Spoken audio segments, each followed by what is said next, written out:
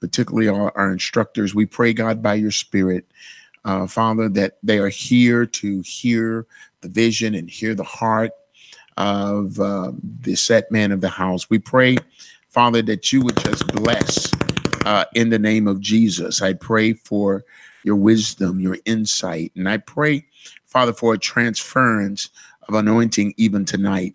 We just thank you, God. We pray, God, that our teachers would be ready. Uh, Father, that they would be studied up. And when it's time, uh, Father, to launch the Agape Net, uh, that they'll understand how important and how uh, strategic this is to make a difference in what we're trying to do, to get people to be in, to get some depth and get past the shout and get past the feel good uh, of, of, of worship, but understanding what it means to live in the kingdom and operate in the kingdom of the Most High God. We just thank you and we give you praise in Jesus' name. Amen. Well, God is great. Thank you. God is great and he is greatly to be praised. I know I see a lot of sniveling and eyes watering, and I just pray for the spirit of infirmity to be up under the devil's feet tonight. Uh, that that healing and restoration would come to your bodies, uh, that you would feel better. Amen. And while um, um, Sister uh, Jay is out, she's on TDY. Um, then the other every other teacher's here, I think, or no? Who's missing? What teacher's missing? Oh, Chris is coming. She had a mishap with her automobile. She's coming. Uh, not not a wreck. It's uh, uh, you know, you have a son, you can have problems and issues. And so she had a situation with a son that couldn't read an oil light. So, so Yeah, you know what that means, don't you? Yes. So she she got a little issue. But that issue will be leaving the house here in two or three days. So Lord have mercy. Praise the name of Jesus. Everybody got a boy, better know trouble is ahead. I ain't I ain't prophesying nothing. I'm just telling you what truth is. Anybody got a boy over 15 can say amen right now. Amen. Yeah. Lord. Seem like girls are so easier. Lord have mercy.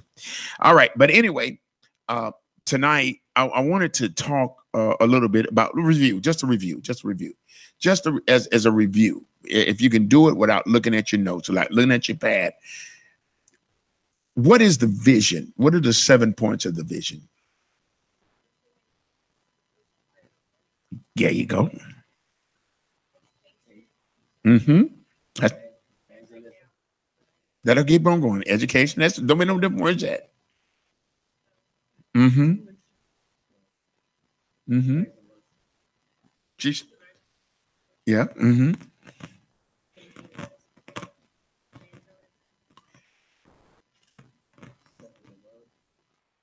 Now she did that one already. She said study the word. She said study the word, prayer, praise, and worship. There's, there's one more. Did someone say fellowship? And there's one there's one more that's con, that's linked to evangelism, evangelism and missions. There you go. You had it. I think she could have done it by herself. You know, it's it's like when you when you hear something, some people get it in order, whatever. But if you know it's seven, you can do it. Now, those seven things, we try to bring it to do to do what? Uh, they're critical in trying to get people to teach them to do three things. What is that? To be humility, unity, and service. That's exactly right. You can't, if we can get you to do the seven things, we can get you humble enough to unify and service. How did we get the humility, unity, and service? Who's been with me long enough to know how that those three things came about? Anybody know anything about that? We didn't talk specifically about it last night, but anybody know anything about how we got unit, humility, unity in service? 1994, even before taking over this a ministry, I was in Israel. and I got a chance to be with Kay Arthur on her 52nd trip to Israel. We was on about a 21 day pilgrimage all through Israel. Man, it was a great time. I got to Capernaum, um, and there in Capernaum, not not on the Mount of Olives, this was actually in Capernaum, that I saw this olive tree, and there was a bunch of olive trees, and there were a bunch of olives uh, that were uh, on the ground. And and the spirit of the Lord showed me something as I was looking at this olive tree. The spirit of the Lord showed me uh, something that those olives on the tree individually are good for nothing. But unless they fall, the falling represents humility. And then it's this an individual olive is no good, and right to the right was an old ancient olive press. And on the olive press, you put olives together and you crush them, which means unity. Until the olive falls and it's crushed and loses its identity, it can never uh, unite. And see, here's the problem with the body of Christ. The body of Christ is really not, I mean, the Lord gave me this almost 26 years ago, 25 years, yeah, 25 years ago. The Lord gave me this, but it, it's so prevalent. If you think about the church, very few, you know, I, I got this even this time when I was in on vacation. Every time I go on vacation, and even the same guy I preach for, uh, I've been preaching for him for a little while now, uh, and the one before, every time they say the same thing. How do you leave for four weeks in a row? Easy. If it's about you, it can't happen. And the church continues to make it about one person. Think about it. You think about any church, any ministry that you you you want to tune into and you watch. It goes to nothing if the lead guy dies. There is no really no setup for anybody else. It really isn't. It's or nowadays it's become a family business. Have you ever noticed the church has become a family business? You know, instead of picking the anointed one to take your spot or someone that's more qualified, they pick a wife. They have a wife to come up. They'll they'll they'll have uh, and there's many people that are much more qualified that are in the Levitical priesthood and in the line of priesthood, but we've done it, and it's almost like nepotism. We have sons and daughters biologically, but we have spiritual sons and daughters that are much more anointed. I'm just saying, and, and that's just what we've done because we've not knocked the identity out of the thing. And I tell you what, when when when when when you see a crushed olive, then you recognize that unity comes with a price. Unity comes with a price. You cannot you you cannot crush an olive gently. You know, you don't crush grapes. You know, uh, uh, cut uh, uh, uh, crushing grapes, it always happens with, um, you know, stomping and that sort of thing. It, it's some effort going into that stuff to really kind of bruise them completely. So you never see a, grape that you put into one of those uh, uh, tubs uh, and come out uh, being identified like it was before it went in. It just don't happen. And so it's humility, unity, and then the last is service. The service part the Lord showed me like a river, a river of oil just flowing, a river of oil flowing. And there was people along the banks of the river using that oil for the various purposes um, that oil can be used for, service. And so that's where that unity, humility, unity, and service comes from. Excuse me, unless we're willing to serve, it doesn't really matter what it is that we learn. And, and I think that's important. And we've got to get people to a place really of, of learning how to serve.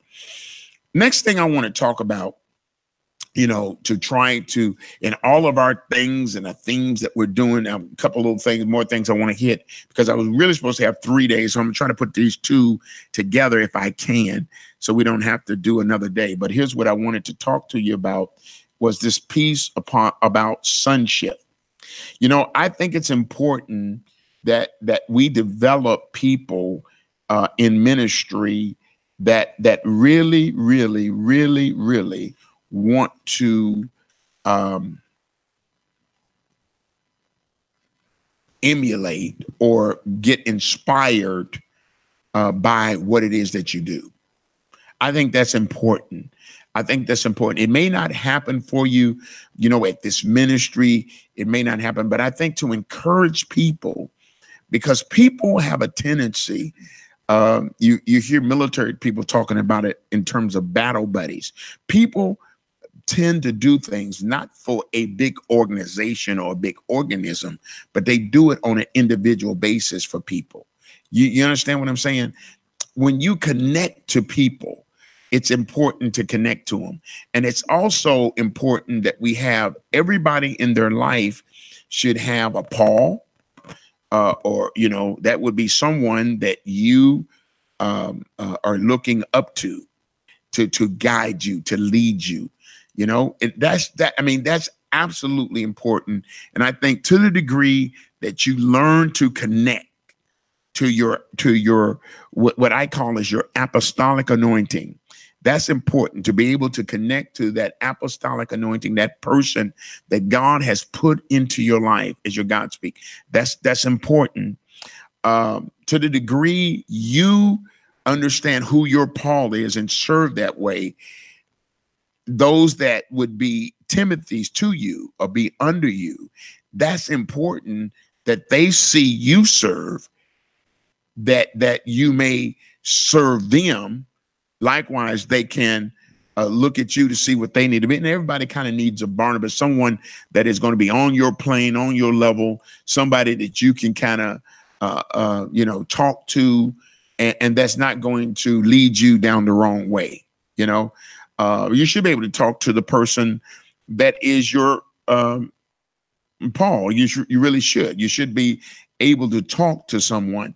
You know, I think in the body of Christ, we've got people who are just so prideful that it's like, man, you know, what what are we what are we prideful about? What are we what are we running for? Why do we have to be so competitive? There's there's no need to be competitive. It really isn't. You know, every ministry goes through a cycle, every ministry goes through something. And the question is, how do you behave when you go through it?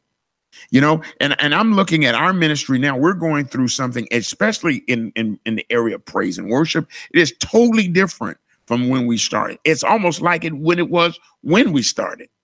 Uh, but then there's been you know 20 years of the best musicians. Matter of fact our praise and worship leaders are all on recordings except for the you know um, maybe the only one that's not been on a recording is david. But everybody else before going all the way back is recorded. My daughter, Brown, and on and on. They're all on pro- professional singers, professional singers. That's who I used to come up behind and preach for and preach. And and have musicians that were par excellence, that were that were given to the ministry. Didn't even have to pay them anything. This is the first era where we're paying someone to play a play an instrument. We never had to do that. We never did that. So it's it's new territory for us. It really is. And even when we didn't pay, we had the best musicians in town. It's amazing. And they were paying two thousand dollars over at Vogelweh, fifteen hundred and two thousand dollars for their for their musicians. But but we had musicians here because it was just the spirit of of what we were doing, and they wanted to be a part of excellent ministry that was doing stuff around the world because they had a job. They wasn't looking to be a hireling. They wanted to be better in the kingdom of God and do some things. And uh, their sacrifice paid off because they got connected to bigger and better things, and and I was able to get them in position. Microphone. Oh, it's oh, it is loose. Hold it to high, yeah. But anyway, um, but but but the uh, the, the the main thing is is is how do you how do you become uh, understand this whole piece, you know, of sonship? Uh,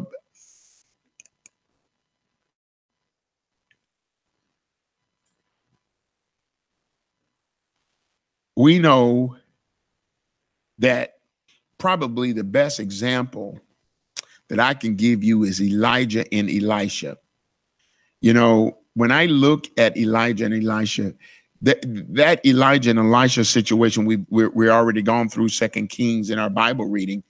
Uh, you know when when when Elijah died and Elisha was taking uh, going to take his place, the the guys that were around Elisha said, "Listen, your prophet is leaving. He's going to leave." And, and he made the point that he says it makes no difference where he goes, wherever he go, I'm going to be there. You know, to me, that speaks volumes to uh, loyalty. It speaks lo- uh, volumes to a commitment uh, uh, to who it is that you're serving. And and and and what what what what strikes me about it is that when he got ready to go up, the Bible says that he asked Elijah a question. Elisha did.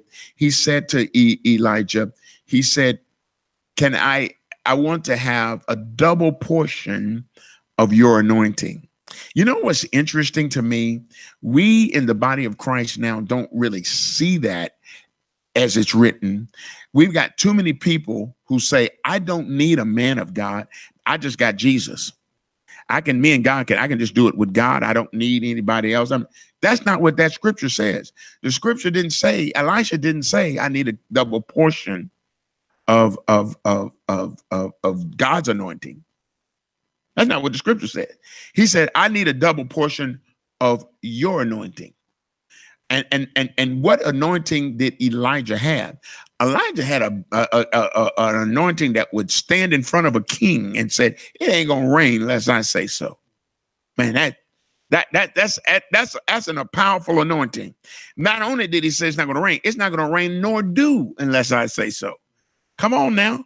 That, that's a powerful anointing. An anointing that says, okay, it's 450 of you all. It's one of me. Call on y'all's God. And the one that answers by fire, let him be God. That's an anointing right there. That's an anointing to stand flat footed, look at him and say, okay, your God sleep now, ain't he? Uh huh. He on vacation. You need a match? You need some help? You want to use my cell phone? This is that's an anointing to have he said, I want a double portion of that. In other words, I'll take down, I'll take down 900 of them. You know, that, I mean, you, you understand what he's saying?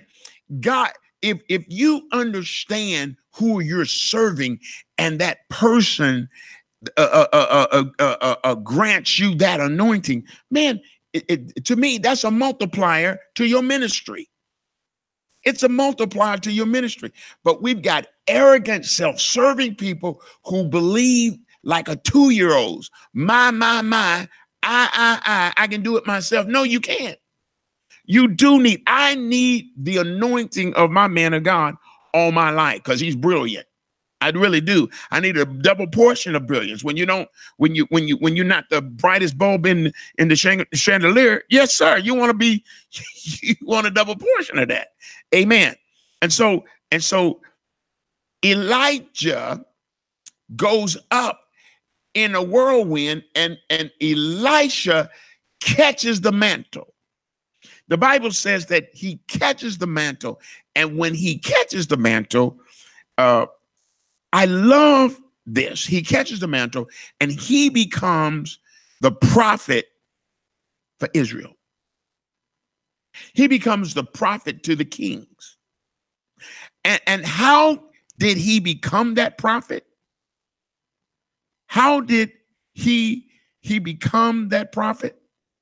Not just because he caught the mantle, because then Jehoshaphat and and a, and a confederation of kings got together and they were going after the Moabs. Y'all just read it, right?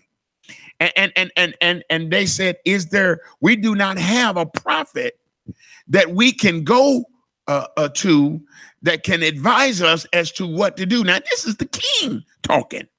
This is the king going now to the to the prophet. Listen, I'm trying to help y'all understand. A lot of times it, it, it, it, it gets cloudy because people have an agenda when they listen and they can't hear the Spirit of the Lord. They can't hear the Spirit of the Lord.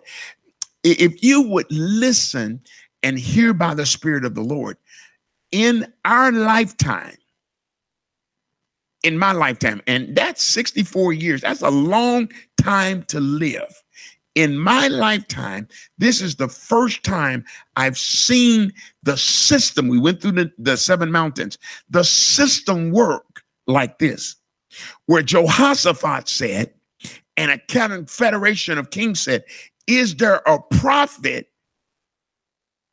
that we can consult? For the first time, point in case, did you know that all the guys that were spiritual advisors to the last president got told about his stance about gay marriage and all of that after he made the decision. They were upset and embarrassed, and many of them who had support didn't say nothing. They were like crickets. But we tried to tell them before that, but they like crickets. This guy, you know, the the the Antichrist, he calls them before he makes decisions. That's how you got the first step that. I hope your brother comes out of that. I hope he does he know about it now? Have you written him? You didn't make sure he applies because there's an application part of that. You have to apply. You have to go through this. There's a program. He's got to get in it that qualifies him to to to get out. Some have already gone through some of those in certain uh, certain states because we use the model from certain states were used, and it's certain things you got to go through. You meet them criteria, they gonna let you walk. If you are a nonviolent uh, offender, and you you know you don't have to have served your time, it, it, they they pretty much say if you are nonviolent and you are um, was that a ambulance going up and down the road or something? Yeah, if you if you're a nonviolent uh, uh offender and uh, they, they can open up a space. They're trying to open up spaces. So, but you got to be aggressive, and somebody, family member, somebody got to let me sure make sure they tell him there are some things that they have to do and go through. It's probably drug uh, uh, programs. There's all kind of things you got to go through to make yourself marketable. Because because uh, a lot of people are in a lot of uh, uh, states and people who are part of this act, they are also doing what is called um, uh, un, uh, you don't have to check the box, meaning you don't have to say you was a felon. And that's a that's at, to me, that's a, a good way to get a job. That's the big discriminator that keeps our our boys and girls who have uh, um, hello, how you doing? That that our boys and girls who have who have been in prison. This is the number one thing that that that stops them because it makes no difference. But isn't that amazing? Uh, in white collar crime or any other kind of crime where where where let's say for instance you file bankruptcy if you file bankruptcy after seven years depends on which chapter you file on the eighth year you don't have to say i filed bankruptcy you can walk in and just get whatever you want to huh your credit score even changes. They don't even, they don't even, it's nowhere on your credit score that you had it. Why is it that a man does 10 years in prison, seven years in prison? He serves his time, good time, he finishes. And then when he gets out, he always got to have this little thing around his neck I'm a felon. That's important. And that's what I'm talking about. Because the king spoke to the prophets, all that stuff is gone. Because the king most of the people who represent kingdom you know how they used to show? They showed uh, i think it was uh, uh, bush the older in a supermarket he didn't know the price of something milk or or something. They look crazy because guess what? When you got servants you don't know the price of milk. You know, they was asking Bill Gates, you know, what they had him on a show and they had all these little products coming up. Where's the price of dishwashing liquid? I mean, he didn't know, but it was funny looking at the show because it. But some people looked at it wrong. I mean, you know, my wife don't know the price of stuff. Why? Because for 31 years she never go to the commissary. I know the price of stuff. So it's not you know, everybody making fun of it. Oh, well, you can make fun of my wife. My wife has no clue what the what stuff costs, really. Huh? I mean, you know, if you, you, you know if you don't if you don't go and you're not buying it, you don't know what it is. And, and but it was funny. Uh, uh, you know, uh, and, and then then Hillary Clinton last time it was funny. They had her on New York subway. She didn't know how to use the card. She ain't never been on the subway, but you know, you're trying to make yourself look like you're a common man and you didn't know how to you scan the thing. And you know, you know, if you ain't been on subway. And so what I'm telling you is it's best when that kind of relationship happens. So this whole piece of authority and and sonship is so important. Uh, uh, but you know, when it really gets right down to it, Elisha dies now. The Bible says that Elisha dies, and when he dies, over in in Second Kings 13, when he ended up dying, the Bible said he was sick and then he died. And then the Bible says that when they buried him, it said a raiding band from Moab came and got on the grave and and and and and, and said that they put a dead man's bones body on him and and the and the man came back to life. And why did that happen? Because Elijah dropped the mantle to Elisha. Elisha gets the man. Watch this now. Elisha begs for the mantle. I mean, he hangs around him and he hangs around him and he hangs around him. And he, see, this Saturday, you know, I'm going to go on mission trip. Every time I go on mission trip, I really think about this scripture. I think about how they live.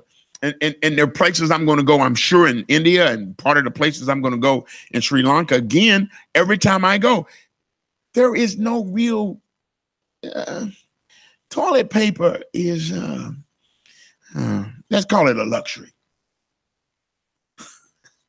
It's not a necessity. So if you live in a culture where there's no toilet paper, your left hand is valuable. You don't see people putting their left hand in their face and, and, and doing a lot of stuff with the left hand. You can't put your left hand in the eating pot.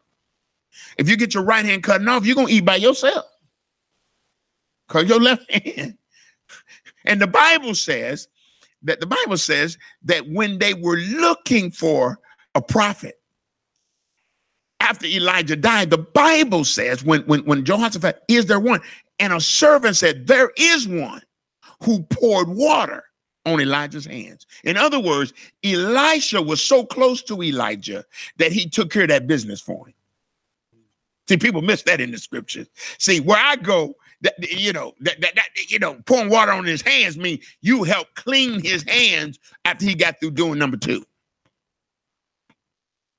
People didn't even think about it. That's how close he was to him. But here is the hubris and the arrogance and the misstep of Elisha himself.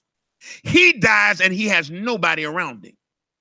How in the world are you going to go to grave with your anointing? How dare you go and be a great teacher that you are and don't have people that you're tutoring? How selfish of you to be so gifted. Hmm? In what you do and not share, you know, your, your love for it to somebody else.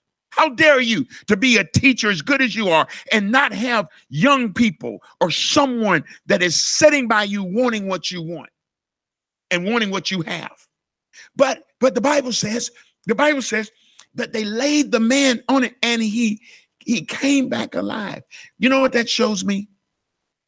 That there's more anointing in a graveyard than it is in the church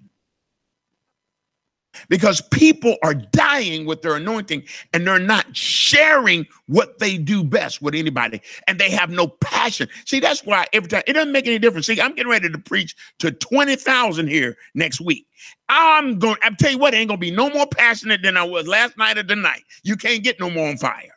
And that's exactly every time. I don't care if it's five people, 10 people, 20 people. That's why in your small groups, leaders, when you're teaching small group, when we do our, continue in our small group, we've got to be able to be with passion, with fire, be ready to go. And if we don't have a transference and understanding uh, uh, sonship, there really is going to be a problem.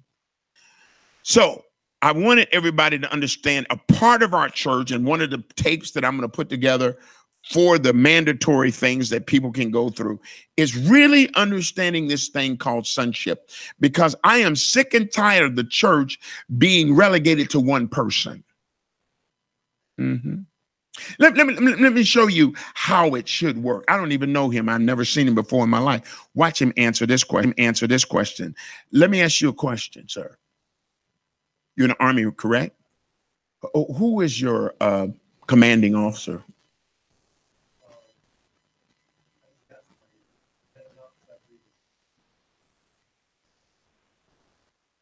Major Johnson is your commanding officer.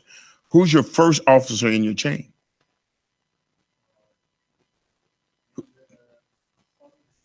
Sergeant Lacerda.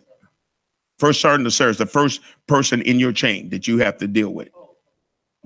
Yeah. Mm-hmm. Lane. So if something happened to the major, you said who who let's say the major just slipped on a banana peel and you don't see it. Who who who who would you think? Who would you you Sergeant Major what's his name? You met him yet? But you know the Sergeant Major picks up. You, you, see what I'm saying? He has some clue. He has got here and he can name a name. I can put the mic in front of folks. I can go around church to church and put a mic in, in, in the mouth and say, Your pastor slips on a banana peel. Who's in charge? Most folk cannot equivocally, unequivocally say, Oh, Pastor Jones is in charge. If, if Bishop Neal is not here on Sunday and, and he didn't say nothing about who's gonna preach. Who do you think's gonna preach in this church? Huh? I've decided, and you know, when when it was when when I was going before, who was it? Elder Glad, Elder Elder Elder uh, Gallup. He was he was like the ruling elder or the preaching elder in the church. The preaching elder in the church where I'm going now is her. So if I'm not here, you can bet she's gonna be ready. If I call her tomorrow, and she got to preach yesterday, she's to be ready. That's how ready she is. If I called her tomorrow, she had to preach yesterday, she still would have been ready for that. All I'm saying is people have to know, and every military unit knows who the XO is. They you know, ain't nobody tripping over nobody. Folks just waiting for a chance. Huh? Ain't nobody gonna trip. Well, I'm glad the major ain't here. I can get to do what I want to now. We ain't gonna have formation today. Or they're gonna do what they know to do and do what he would do if he wasn't there to do it. That's what a real substitute would do. Isn't that right? All right. So, so, so it's important that we understand authority.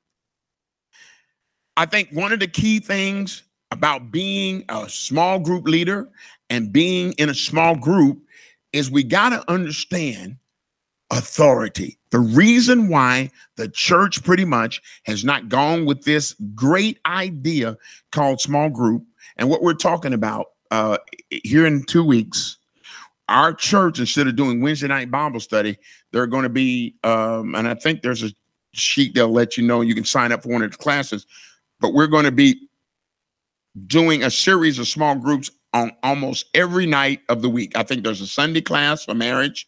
There is a uh, thank you so much. There's a Sunday class uh, for marriage. There's going to be a Monday class. There's a Tuesday class. There's a Wednesday class, and there's a Thursday class. Is that right? No Thursday. It's a Monday, Tuesday, Wednesday class. But and there's a couple of classes on one of those nights, or two two Sundays, two on Sunday, two on Monday, and um, then one on the rest of them wednesday thursday i mean uh, tuesday wednesday and so and so uh, one of the reasons why small groups have not worked is because men are not under authority. Because people are too afraid see the, the, the military works great on a small group. You know why? Because as at, at, battalion i only had to do was say hey, listen here instead of giving it to um, uh, Alpha, uh, I'm going to give it to Bravo, and and then what Bravo does, it's a job that only going to need a squad to do. So then I allow the commander at Bravo to decide which platoon and the platoon leader, uh, first platoon Bravo, would say, okay, first squad. First platoon Bravo is going to go do it. So, but guess what? that platoon, that squad is still under the authority of that platoon. And that platoon is still accountable to that company commander. And that company commander is still accountable to me. The military works it good. We can put a squad out to do something and they will do it exactly right. The problem in the church is we put a squad out, that squad wants to become a company. Or he's trying to be its own battalion, trying to start its own church. And that has really been the setback. But the best way to learn anything in the Bible is really in a small group. Because the Bible even talks about it, that they went from house, they was in the houses doing this. That's right, house to house. And and and but we've gotten to the place that we're too afraid to let loose. And I, I really do know that we have some great leaders here, but we have to be uh, really under authority. The Bible says in Romans chapter 13 and verse 1 through 2, here's what it says. It said, Let every soul be subject to the governing authority, for there is no authority except from God, and the authorities that exist are appointed by God. That's why you notice in our society right now, do you know one of the biggest, biggest things you see going on in school system? Hmm? Is that I'm not know what's going on at your school, Miss Johnson. I really, I mean, Miss Jones, I don't know, but let me let me say this. I know what goes on at our school here. Teachers don't get the uh, option for students to call them by their name. They're Miss, Mrs., or Mr. But in 90% to 100%, 99.9% of all public schools and public learning, you just Jamia. Why did that do that? You know why that started a long time ago? It's the breaking down of authority.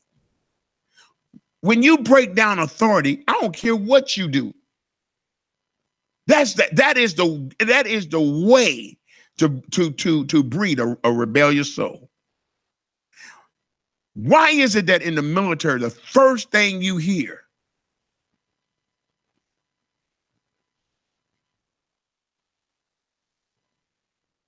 is they tell you to say yes, sir, and then the guy hollers at you, said, "Don't call me sir."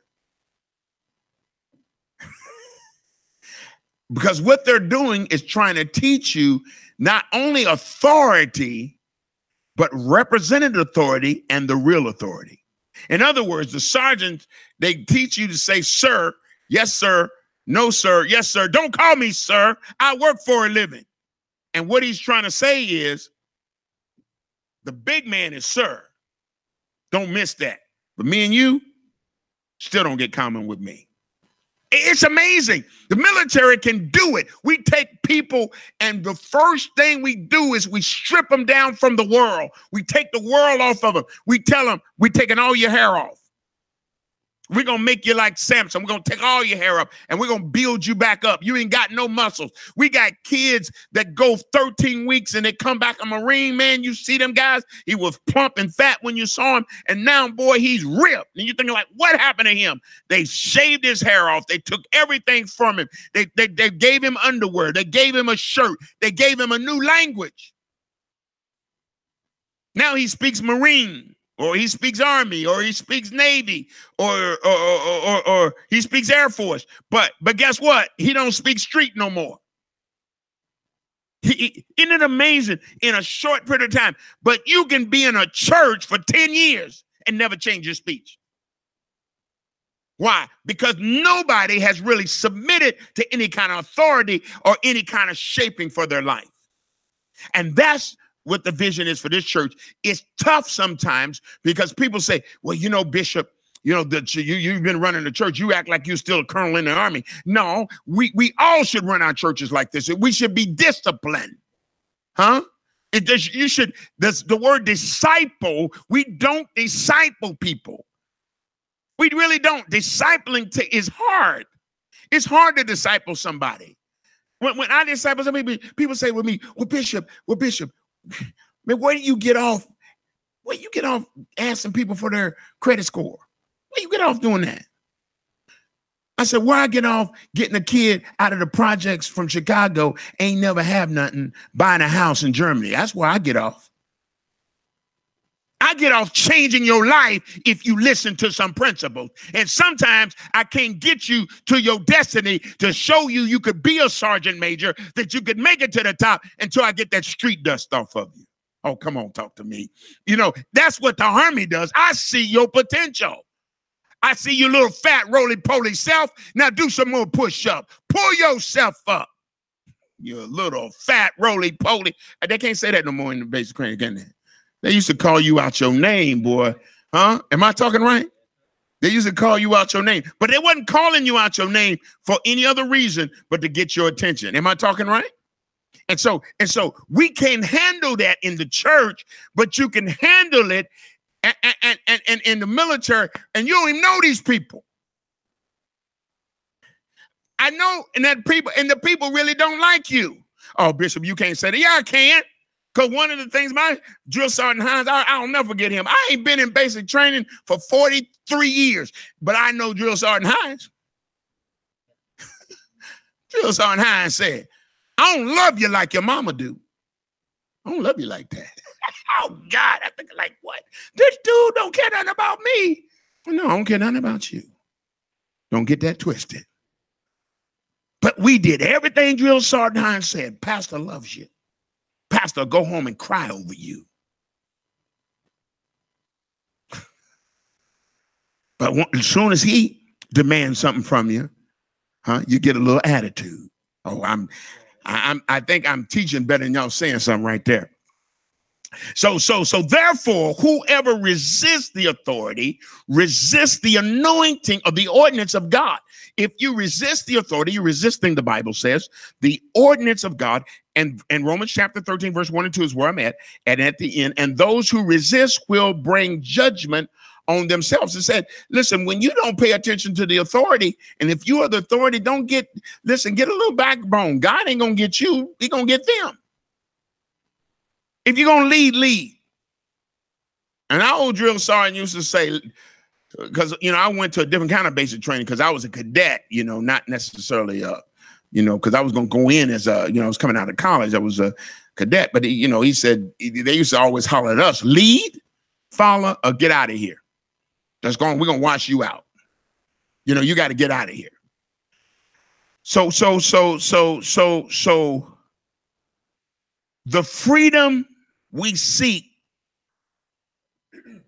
when we resisting authority, we lose in our insubordination to it. We cannot be insubordinate to authority. So many say, I submit to God, but I'm not going to submit to no man unless I agree with him. Well, you know, you didn't agree with your first sergeant. You did everything he told you to do. You didn't know nothing about him. He didn't. He already told you he didn't love you like your mama, but you did everything he told you. But but here's somebody. Listen, you get on the airplane. You, you, did you take a train here, or did you bus from? Uh, or did you bus from over in the United States? How'd you get here from the states? You you flew. Okay. Did you did you know the pilot? Did you? Do you know how many pilots were on the plane? See, isn't it amazing how we can get on a plane and go to sleep on that joker. Oh, y'all ain't talking back to me. And and and and and and, and, listen to every instruction that comes from that cockpit. and y'all see me every Sunday, and y'all won't come on, baby. Y'all, y'all, y'all know it. You, you know it's amazing. You know, and if you don't agree with me, you won't do it. But you, if he tell you to put your seatbelt on, you will. Hey, how you doing? If he said put your seatbelt on, you will. Does that make sense? And so, and so, and so, and so, the authority of God is important. I'm going to submit to God. I'm going to, but I'm not going to submit to the man of God unless I agree with him or her or the woman of God. There, there is, uh, uh, you know, and this is where our upbringing and incorrect church thinking can hinder us. If we are in a position that we won't be under authority, it's a deadly thing. Can I just say this? At Agape Christian Faith Center, one of the first things I tell the teachers that are dealing with the three and the four year olds, I'm not overzealous about how much they know. What I am zealous about is them being able to answer one word commands and obey them. Stop. It will save your life. You knowing your colors don't mean nothing to me. Don't press me. You got time for that. Being able to sit down when I tell you to sit down. Tell you to move when I tell you to move. That's important, so important, but it's not instilled in our children anymore. We're doing all kind of stupid stuff that really don't make any sense. Trying with creativity and uh, man, I, I, you know, ain't nothing wrong with creativity. I don't, I don't see nothing wrong with, but people can do whatever they want to do. But the first thing you better do is learn how to live under the authority of something. So we're teaching under the authority of God. Can I say this? The next thing that's happening in our society that is that is killing authority is uh, let's just take a little poll here. That's just just little little little little, little um, unscientific poll. Everybody that grew up in their house from age one to 18 before you left had a mother and a father in their house, raise your hand. One to 18. Okay, one to 18, we got one, two, three, four, five. So half of y'all didn't have that. I ask that question in three, four, five, six more years, it will be nobody. Because there's an outright assault on the family. And so if we can if we can take away the family, why is that important? Because as a young boy, you know who I thought God was?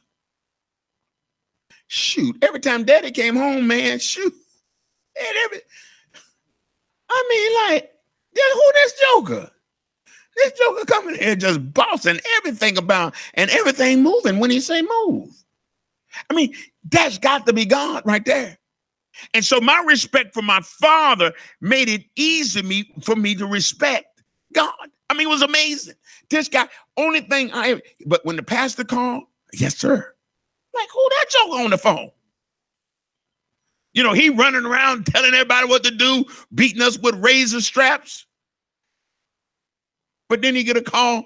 He get up in the middle of the night because Reverend so-and-so called. I said, oh, I see here.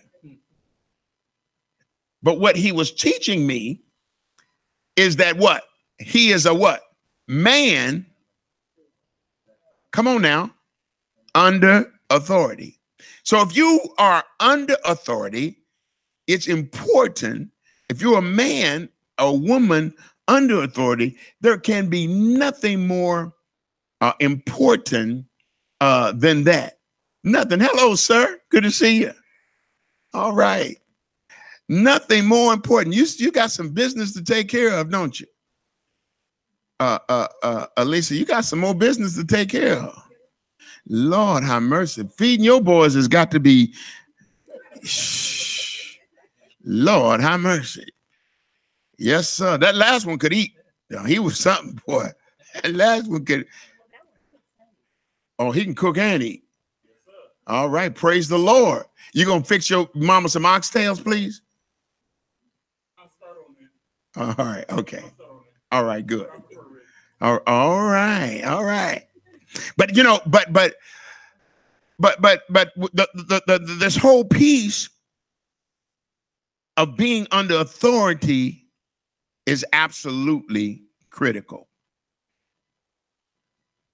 When, when I think about it, think about it, think about your life, think about your life. Those of you who who answered that question, I just asked the question. Everybody who had a mother and father in their house from age one to 18, raise your hand. Only half of the people raised their hand, just less than half raised their hand.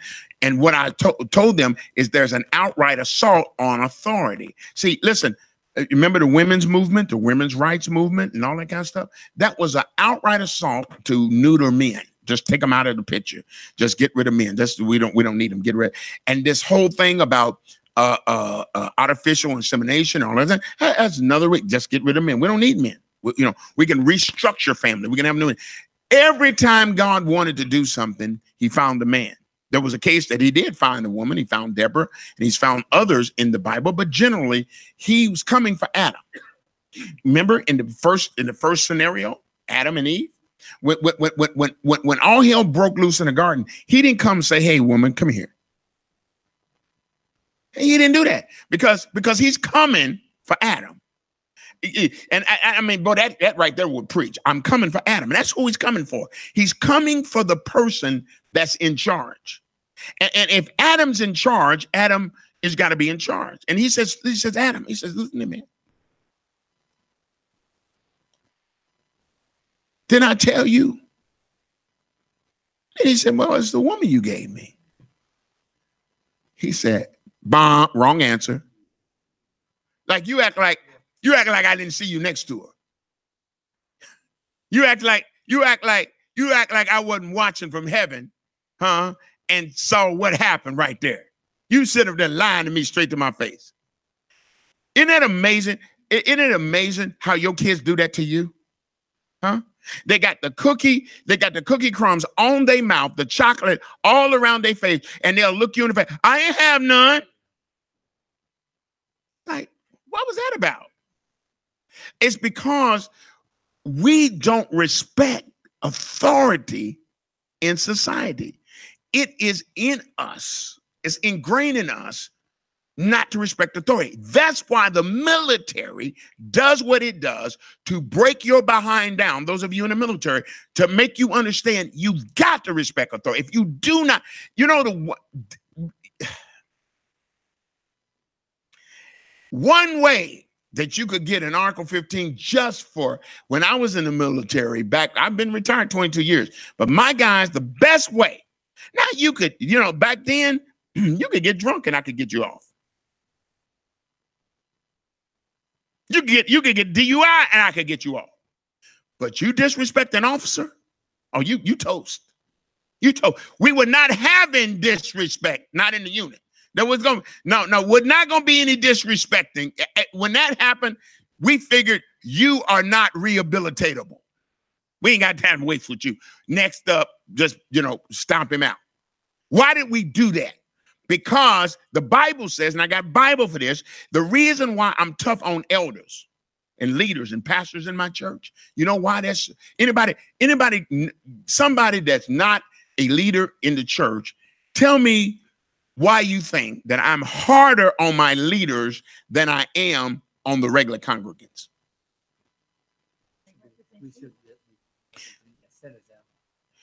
But give me a Bible reason. There's a Bible verse. That's one, but there's one even more clear than that. It says, rebuke an elder openly so the rest of y'all can fear. That's why daddy, when he whooped us, he'd take, he, he, my brother got more whoopings than anybody. Why? He was the oldest.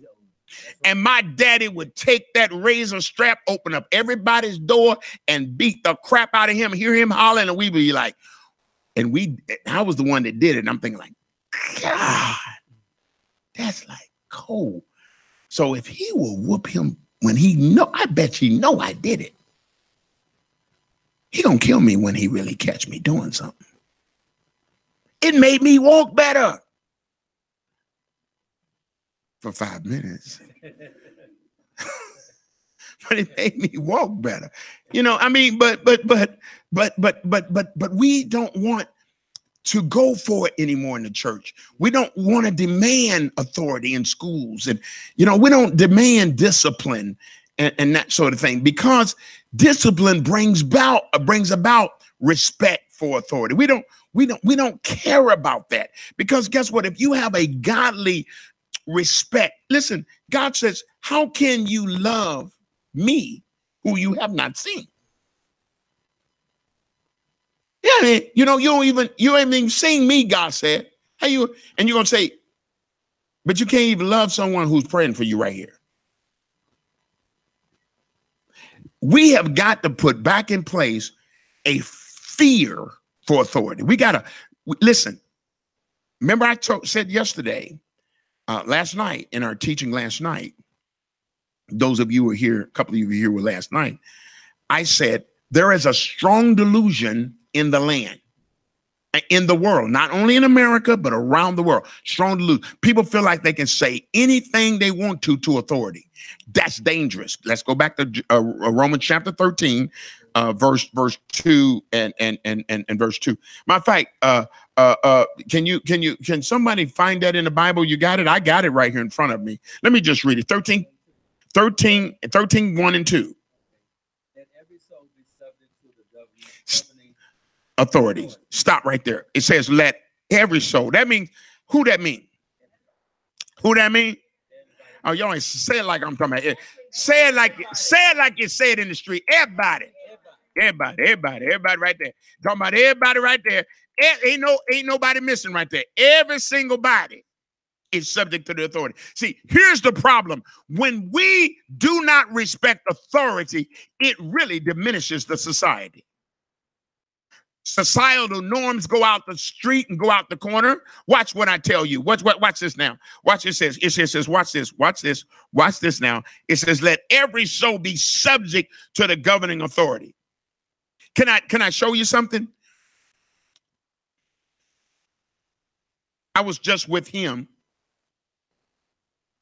and we went somewhere and a woman recognized me. And I'm just always curious because I know I've been here for t- almost 25 years, but this woman hadn't been here 25 years. So I'm thinking, like, she says, Hi, Pastor. Or she said, Bishop. Hi, hi, Bishop. Or I said, Hello. And he, we did a transaction. I said, Ma'am, how, how, how do you know who I am? Oh, everybody knows who you are. I said, Okay. But how do you know who I am? She said, Oh, I came to your church once, but I go to another church in town. I said, Oh, oh, oh okay. She's very nice, very polite. Was she from Africa? She's from she from Africa? Yeah. See, anybody in here from Africa? Every Christian from Africa respects the man of God. If y'all hear and watch the, you'll watch the African people in our church. They literally bow when they come to me. You, you, you, you just got to get used to it and see it. But they, every time they will wait for me to put my hand out, they never will because they know you never extend your hand to the bishop. They know that already. But as soon as I do, they will do like every single time they will do it. They respect authority. That's why, in if you don't mind me being a little ethnic right here, uh, uh, Suzanne, that's why when we used to go to this restaurant up the street, our church is predominantly black. And the proprietor said to my wife, she said, I love it when y'all come here with y'all's kids, because they sit down. He said, them little white kids, and them German kids be running all over my furniture. You know why authority came from our roots. But we're becoming the most arrogant and disrespectful people. We could never say, Miss Brown, yes, ma'am. No, ma'am. It was never, you couldn't pay my, my kids, you couldn't pay them now to say anything but yes, ma'am, or no, ma'am. And my daughter's in her 40s. She will never say to anybody that looks like if it's a friend of my daddy or mama, that's gotta be it's gotta be yes, sir. If you're a friend. Oh, you know, I ain't gonna no, I can't lose my favor. You better understand. I don't need to call him man, you know, because that's what they made us do in slavery. That's what they made us do in here and under, you know. And here's what it came to when I used to be on the corner, my wife said I used to be good for five minutes. But when I was good for 10 or 20, we'd be on the corner doing what we gonna do. And uh, we did something or whatever. And the police come and we know we did something. All you had to do is be faster than the slowest guy. Because they're gonna catch the slowest guy. They ain't gonna catch me. We ran. Now, roll up on some black kids on the corner. Hear what they say. I got a nine just like him. You, you see the difference? The difference was we respected them jokers. I remember, you got to remember now where my age is. I had to go to the back of the theater. You remember? I, am different. You know, they called us boy. I'm, I'm from the South. You know what my daddy told me? He said, Let me tell you something. No one can define you but you. You respect everybody. Mr. Jones if he's white and Mr. Jones if he's black. He's sir to you. You still a boy. That's ex- when he call you boy. That's exactly what you are. And just say yes, sir, and keep it moving. It didn't hurt me. I knew who I was. Anyway, an adult has authority over me. And guess what that scripture says? It doesn't say whether the authority is good or bad. Read, this, read it one more time. To good authority. No, no, to the good governing authority. See what I'm talking about? See, it's like obey your mother and father that your days may be long. Doesn't make no difference if, if he is just a, I don't want to call your father out his name right there, but I was getting ready to call your daddy out his name right there, right there. It don't make no difference who he is. If you want to live long, don't get in the fight between your mama and your daddy. I'm just, just, just, just trying to help you right there. Stay out of mom and daddy stuff. As like my mama, like my daddy told me when I tried to get in his business when I was 10 years old. He stood in front of the church and told everybody he had two kids out of wedlock. And I I, I went in there and tried to buckle up with him, like, uh, what you gonna do? That boy showed me everything I owned. He showed me my toys. He showed me my dog outside. He showed me the food and the watermelon in the in the in in in, in the in the refrigerator, my favorite food. And then he took his razor strap and beat the crap out me. And he said, Don't you ever question me as long as you black. I'm still black. Just telling you, don't mess with the authority. It ain't good for you. But guess what I found out? I found out after a while, as I grew up, what a great lesson. Life is complicated. It ain't as easy as you think it is as a little kid. Stay out of that, and your and your life will be long. So I didn't hate my mama, I didn't hate my daddy. I learned he was my hero, even after that beating, because I understood something. The Bible is true. If you don't know nothing else, you better know some key scriptures. And these are some of them. Keep reading, sir. For there is. But there is no authority except from God. All right, now here you go. You told me that major that's over you, he is in authority. And, and if the scripture is true, no matter how incompetent he is, if he got two left feet, if he's the worst major in on the planet, God put him there according to this scripture. There is, eh, eh, eh, am I right? Did it say there's no authority? No authority. I don't care what authority you talking about. I don't care, huh? If it's the dog catcher that got elected, he didn't get there except for God. If he's in prior, if he the garbage leader, he didn't get there unless a, God puts up and God brings him down. The Bible says in Psalm 76, and say there's the promotions don't come from what? The east, nor the west, nor from the south. They come from what? Above. So, so, so either see, here's what I'm looking for. I'm looking for a church that either believes the Bible or they don't believe it.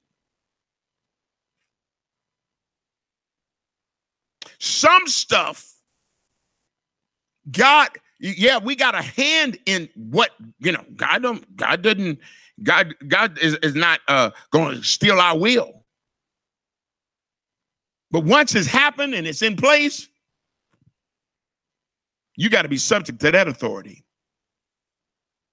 It says, and the authorities that exist, they are what?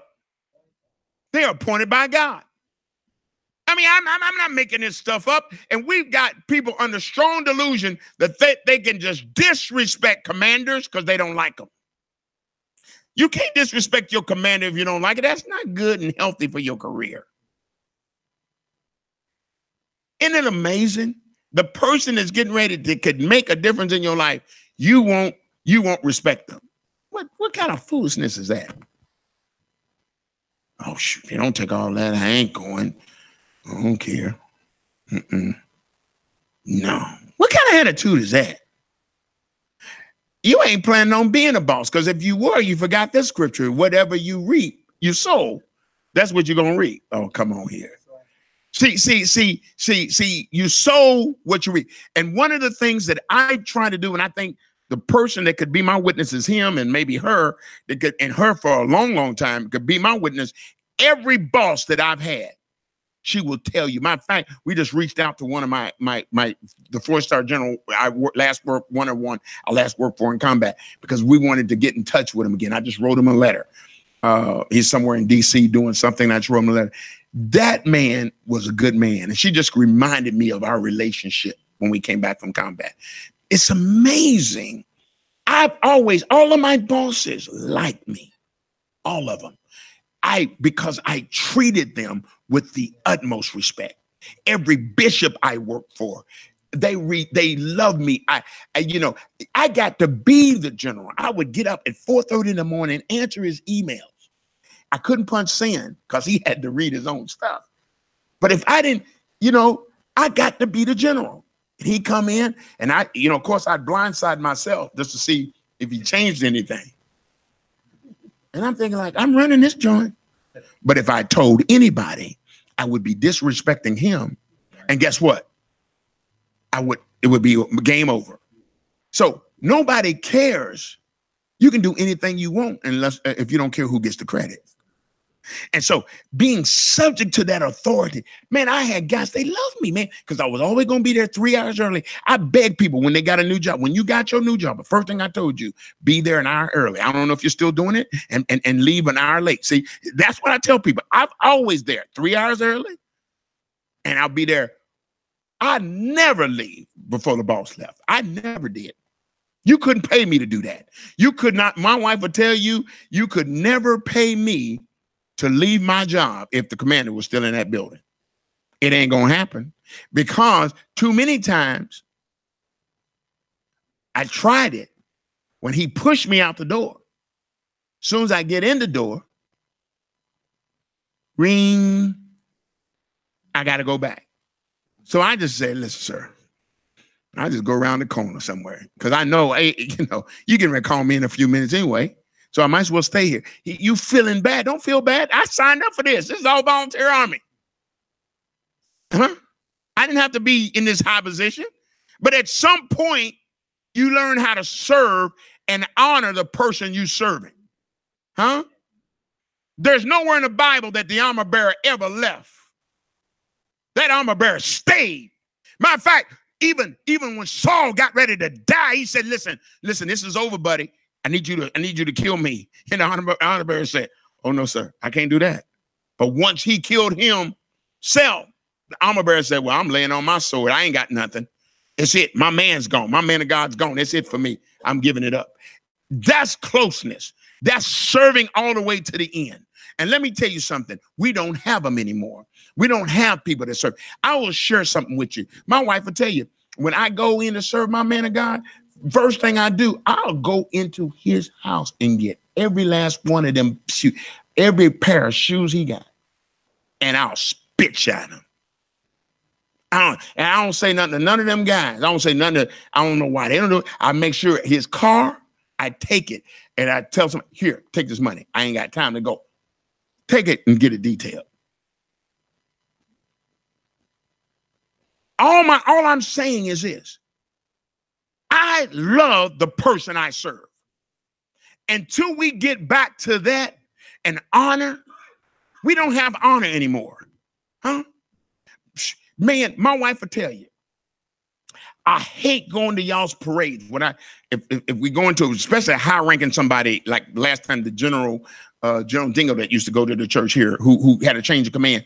I went out there and they have a full parade. You know what I mean? With the bands out there and all that. My wife, here she go, right at the right time. She'd be pulling out the tissue and handing it to me. Cause I can't stand that army song. And boy, when they say when they when they when they sing the Star Spangled Banner, man, that, that thing does something to me, man. It, it's something about honor to me. It's something, it's real. I, you know, I can't have I watched the All-Star game. I had to turn it off because I couldn't hear that rendition that everybody's loving the national. I can't, I can't stand that. I don't change it for me because I've seen the Rockets red glare. So it ain't no game to me. It ain't no, it ain't no voice exercise with me. This, this ain't the voice. Sing the song like it was written. And the bombs bursting in air. Uh, oh, you mean because you ain't seen nothing. That's what I'm talking about. To me, it means something. That's why I'm crying and trying to get myself together. God, I mean,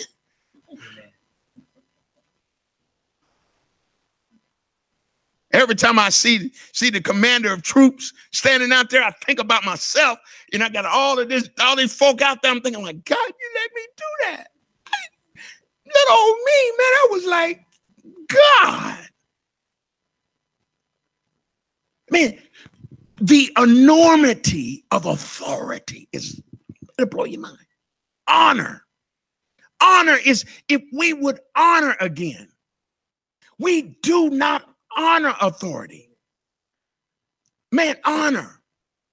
We, you know, my wife and I, we talking about honoring our parents. We've buried three parents since we've been here. And my wife will tell you, my father and her father in 30 something years never called us. Not one time did they ever call my telephone number. Didn't have to because I called them from Iraq called them from Saudi Arabia. I called them from everywhere on planet Earth where I was. If I got a chance to call, I call my wife. Then I try to check the box, call all four of, four of them.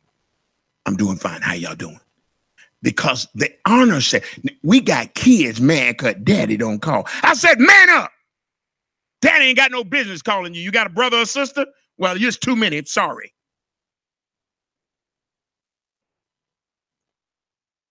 It's only one of him, it's all of y'all. Pick up the phone and call your mama. Your mama shouldn't have to be crying because you don't call. Changing them dirty diapers and you do all of that stuff for them, and then they leave like they ain't gonna call. I love you, mama. Daddy, I appreciate you. Somebody shout honor. This is Sunday morning stuff here when the church is crowded. I mean, I'm just saying, honor we don't do no more. We don't we don't honor. We don't honor. Oh, when I really learned about honor, it blew my mind. My first command, I wasn't even a captain, I was a lieutenant. I walk in the building and they said something like, Eddie's. I, I remember I just got basically I knew about it. And then the first sergeant came to me and said, Hey, sir. Pulled me in the office. He said, if you don't say carry on, they're gonna stay like that. Boy, that felt good right there. that I walked in the building and everything stopped. That you know that you don't you don't even know how humbling that is from a little boy from Lexington, Kentucky. You don't know how humble. That is humbling to know. But guess what? With that comes grave responsibility. It comes grave responsibility. I remember before that command, when I first became a lieutenant, I used to stand in front of the BX and chew people out if they didn't salute me. Y'all laughing. I'm telling y'all true. Oh, what's wrong with you? Just full of myself. I ain't had nothing else to do, messing with people. But when I became a field grade officer, you didn't even know I was a field. I was in a church for almost a year, and they didn't even know I was a colonel. They didn't even know. I ain't wear my uniform. So the more responsibility you get, the less of that stuff you care about. It don't even that don't phase you no more. The older you get, the more stuff don't matter. Hmm? That is the truth. The more stuff don't matter, the older you get. So here's what I'm saying. But here's something that never grows old is honor. Honor. To honor your elders, to respect older people. You know, it's amazing when you talk to somebody and you say to them, yes, sir, no, sir. And they see, it's amazing uh, what happens when you show people respect, basic respect and honor. And it says, and those who resist, what will happen to them? They will bring judgment to themselves. It says, those that resist will bring judgment to themselves.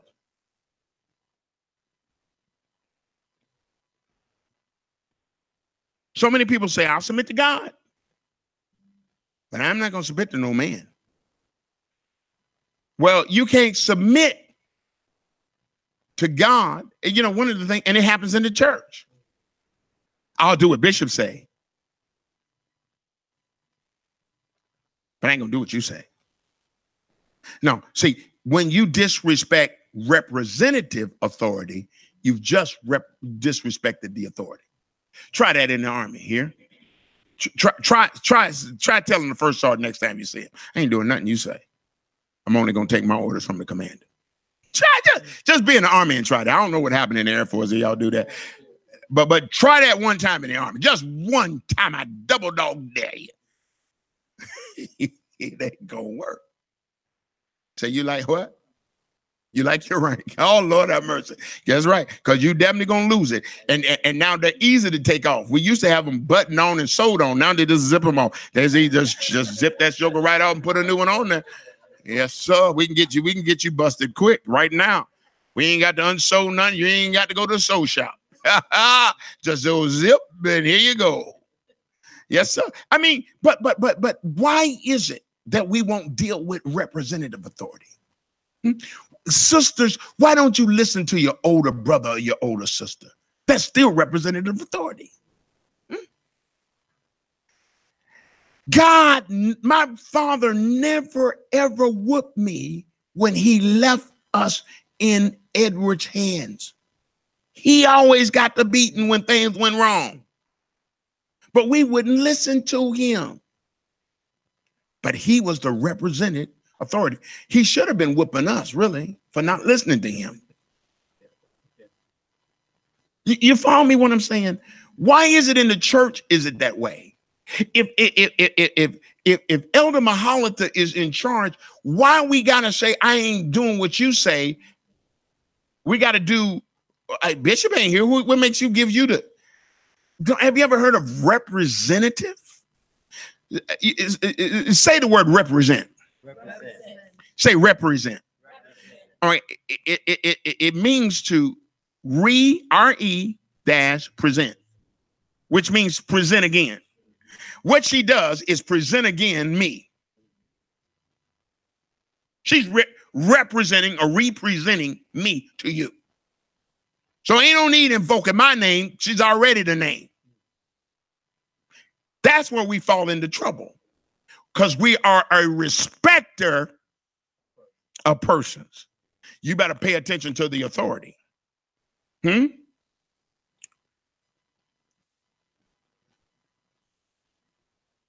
I think representative authority is best dealt here. I, I love this in Matthew chapter 8. Am I doing all right? Listen, I think it's important. We talked about yesterday, we talked about the vision of the church, why we are established, how we are established. We talked about all of those things. I'm going to put it on tape for everybody when we go to our small groups. New people coming in can understand who I am, who what we are doing here as a church. But there is one more piece I have to do and and and and and I'll have to do it at another time because I'm getting we really the church really needs to know what we do in missions. I'm going to be on the missions field again. I'm going to leave uh, this weekend. I'm going to be in in in Sri Lanka. We're going to be there with our we got a school in Sri Lanka. I'm going to take a little segue and just talk a little bit about this and get right back to Matthew chapter uh, 8. We're going to go there and we're going to finish there. But but we have a school in Sri Lanka that was named after my 6th grade teacher. I honor that lady because I believe in my mind that if it wasn't for this woman, Mrs. French, if it wasn't for her, that I don't believe that I would be um,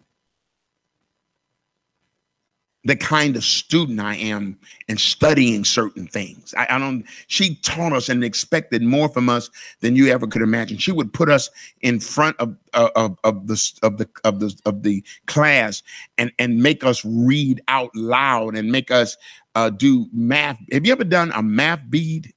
You know, not a spelling bead, a math bead where you stand up and you have to do math in your head until the last one drops.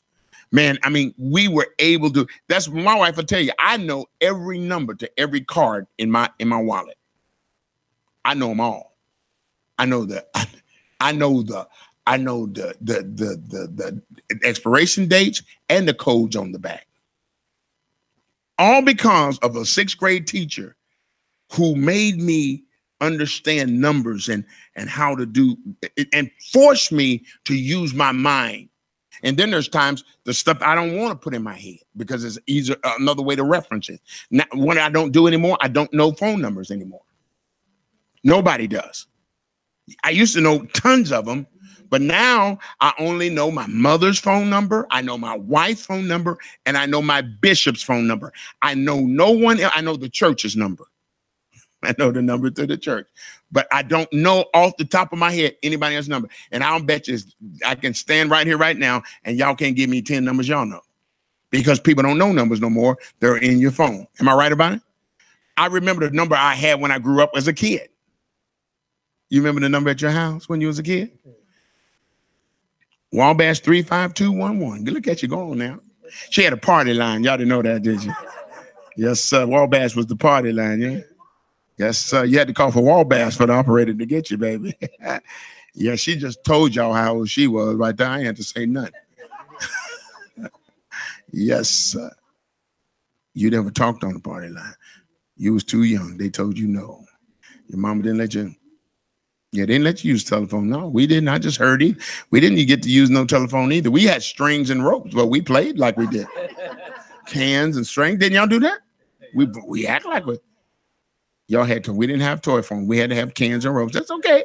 Now, don't play the dozens with me today. Not today, please. I'm I'm I'm teasing. That's my wife, y'all. Since y'all didn't know, the the woman that's that, that's not under authority right in that minute right there.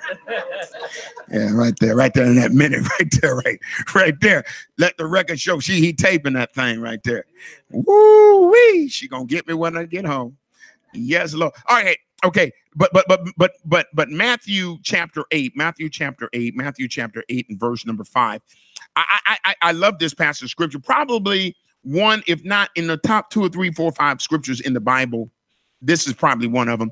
It says, "Now when Jesus had entered Capernaum, that's where I, I told you we went uh, talking about the vision of the church when we started earlier in Capernaum, where I saw the the the uh, years ago, 24 years ago, when we went to Israel, and I saw the um, uh, olive olive tree. It was in Capernaum. You know, one thing about going to Israel, I think you can say that since you just got back last week or so. It, when you go to the land of the book, man, there's just something in it. The land of the book, man. Go, do not be a Christian and not go and that's what I'm saying. I don't understand Christians. We have lost our natural mind. We don't know the significance of what happened in May last year when I got a chance to go to Israel with the administration. Man, that was something. When they moved uh, the, the, the capital uh, of, of, of, of, of, of Israel from, from Tel Aviv to, to Jerusalem, that was major for Christians, that man, that was major, man. But see, since we're not under authority and we got some hate going on, we miss what God is trying to do. Man, don't miss what God is trying to do. I'm telling you, man, we we we, we need to understand if you are under authority, it matters. Watch this now. It says now, when Jesus had entered Capernaum, a centurion came to him, pleading with him, saying, Lord, my servant is lying at home paralyzed, dreadfully tormented. And Jesus said to him, I will come and heal him.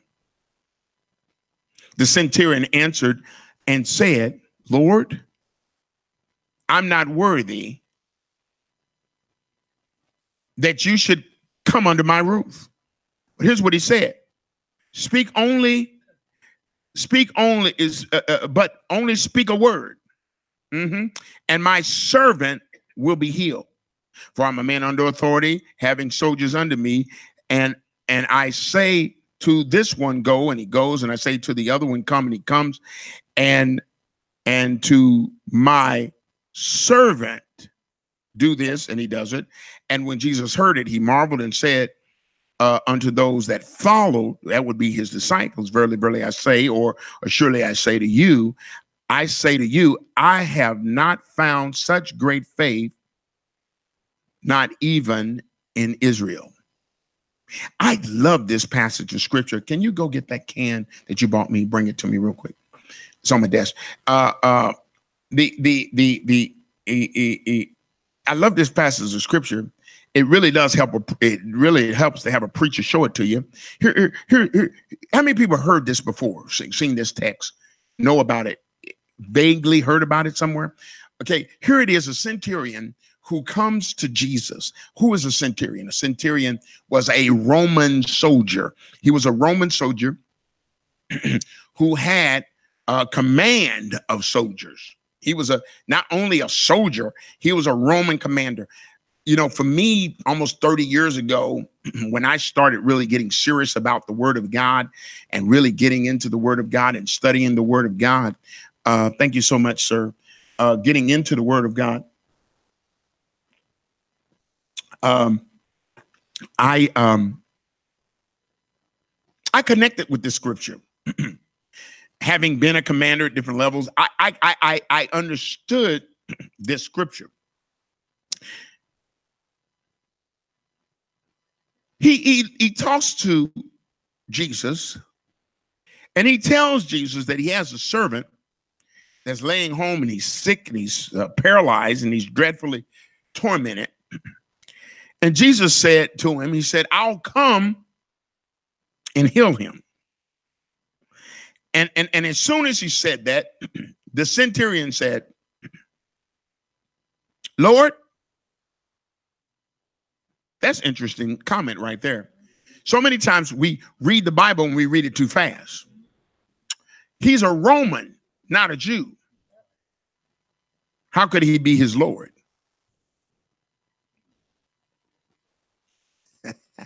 Boy, you call him Lord, you're going to make him do something. Y'all didn't hear me. Boy, I'm telling you. Is it, you know, she, she'll tell you, I'm even, I get so mad with my grandkids. God knows I get mad with them.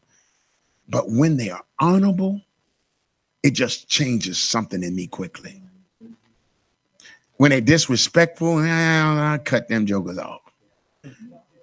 But when they get honorable and nice and you want to empty your pocket. Yeah, no, I'm not like you. I'm trying to be like you, but I can't. She know how to cut them off, though. I'm trying to learn how to cut it off. You, you shouldn't. Old kids, you need to let them go. But when they come, you know, humble, broken, Poppy, I love you. All that, you know, it just Man, I tell you, but it's etched in my head, etched in my head is taking the kids, I think the second time or so to Disney. And my grandkid, when he's old enough to understand it, man, the middle one, he said, the middle one of my dead, our, our late daughter, he said, I love you. You're a good poppy. Oh, we had so much fun. We had our own room. We could have room service. We ate chocolate cake in the morning. You are so good. Man, I was trying to figure out when I could take them back. You know, that's what fathers do. You don't go doting over no father and tell him how good he is. You can't tell your God, Lord. You can't tell Father, I love you. You can't say, blessed is he. Come on. You can't, when you start bragging on God, let me tell you something, something happens. Oh, y'all didn't hear me what I'm saying. Whoo, Jesus. Make me want to just have a praise break right up through here. God, I love you. I bless your name. I glorify your great name. Let me tell you something. When you when you just tell him how great he is. Oh, gee. Anybody got a kid that tell him, oh, daddy, I love you. Huh? Oh, you just you you you're just so great man, your head you can't even get in the door. Even though they're trying to get up out of a whooping, you can't help yourself. It, it just does something to you. And the Bible says that the centurion hmm, called him Lord. He said, I'm not worthy that you should come under my roof. He said, but speak the word only. And my servant, watch now, will be healed. And watch what he says here. Many times, if you've heard, how many people have heard this preached before? Raise your hand. You ever heard this preached? Most of the time when you hear it preached, the crescendo, the the the the excitement comes when the man says, "Speak the word only." I, I, yeah, I'm not worthy to come to my house, but speak the word only. Jesus never got excited about that. It's amazing how preachers got excited about it, but Jesus never did. Here's what here's what the man said. He said, "Speak the word only, and my servant will be healed." And then he said to to him, he said, "For I also watch that now." in your Bible, I would suggest that you would put in parentheses uh, that you would mark the word also. If you got a way to mark it and highlight it in your on your on your phone or however you're looking at your Bible, I would highlight that because here's what he's saying. It's almost uh, a, it's, he's trying to some think some would might think it's blasphemous, but here's what he's saying. He said, "I also am like you." Why would he say also if he was not referring to Jesus himself? He said, I also am a man of authority. In other words, Jesus, I know your game. You, you ain't on your own either. Huh? You came here, huh? And you said you only do what your father say do. Come on now. He, he, he peeped his whole card. He said, You are a man under authority, and so am I. And I got soldiers under me. That's why I related to this. And when I tell, see, when I was a company commander, the, the, the battalion commander could not make me give somebody an Article 15. Did y'all know? If you're in the church, you know. You should know by now. I've said it more than once.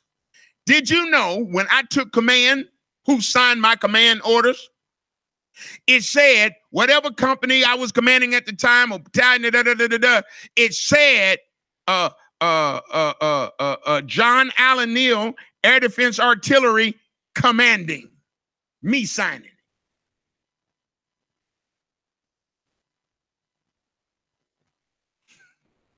I understood this scripture. I'm a man on third. You, I tell this one to go and he go. I tell the, the battalion commander could not make me give him 50. He had no authority. When I told him to go, go. I tell him to come, they come. I, if I wanted to promote him, I promote him. If I want to put him, that was my authority given to me. I had that authority. Watch this now. Watch what he's saying to him. He says, and I say to this one, go to go, and he comes, and the other one come, and he comes, and, and to my servant do this, and he does it.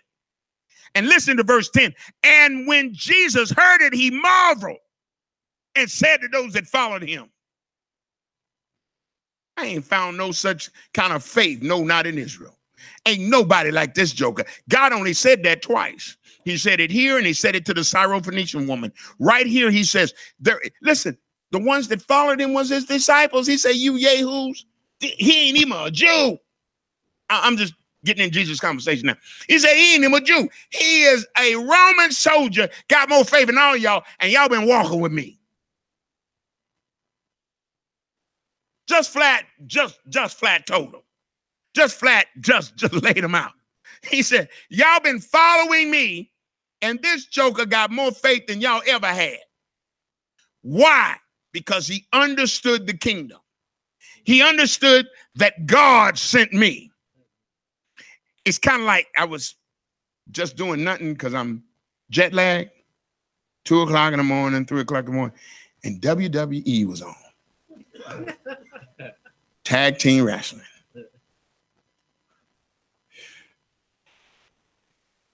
God tagged in Jesus tag. He came in. And Jesus trying to tag you in. And once you get in, you got the same authority they got. And see, once you know you got the authority, use it. He said, I don't need you to come to my house. I got this now. I can lay hands on the sick. Oh, Jesus. I, I don't need you to do it, Pastor. I got this. I know how to do this. Once you understand that you are under authority, that you under the anointing and the power of God, you will use that power, you will use that authority, you will use that anointing.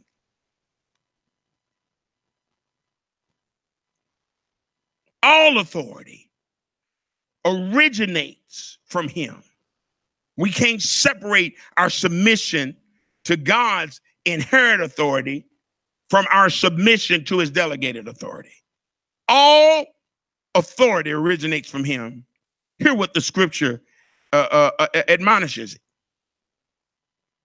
If I had a nickel for every everyone who got mad and and and and left the church because what some leader said and asked them to do, I'd have a lot of nickels.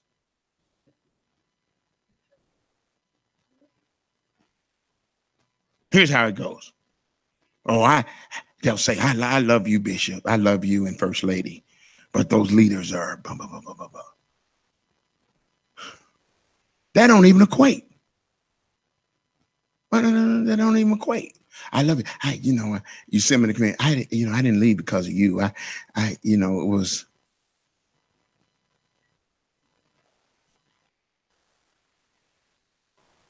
But the same people won't leave their job because they don't like the sergeant. Because they're gonna get that paycheck. Oh, y'all didn't hear me. Uh-huh.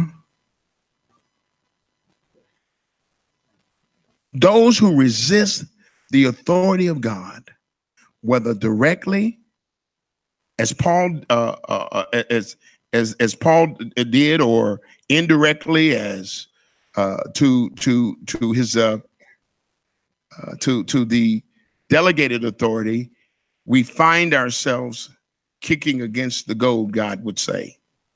And, and, and it's important that we know and that we understand that we cannot do that. I just got a few short minutes, just a few short minutes.